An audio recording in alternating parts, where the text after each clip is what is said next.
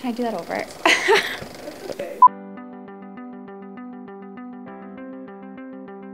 My name is Christy DeBuono and I'm a clinical pharmacist that works in the hospital setting. I provide pharmaceutical care to inpatients and that consists of ensuring they're on the best medications for them that are also safe.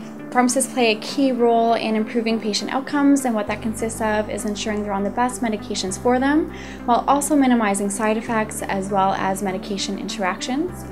I really wanted to work directly with patients, and pharmacists are one of the most accessible healthcare providers, particularly in the community.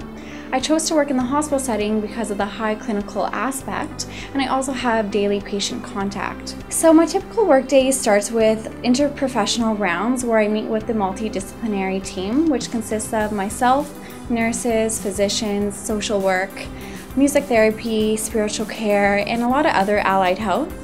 I also meet with patients when they're admitted, and this is to get an accurate list of home medications. The highlight of my work is definitely the people, so the patients and the families that I work with are great and they're extremely appreciative.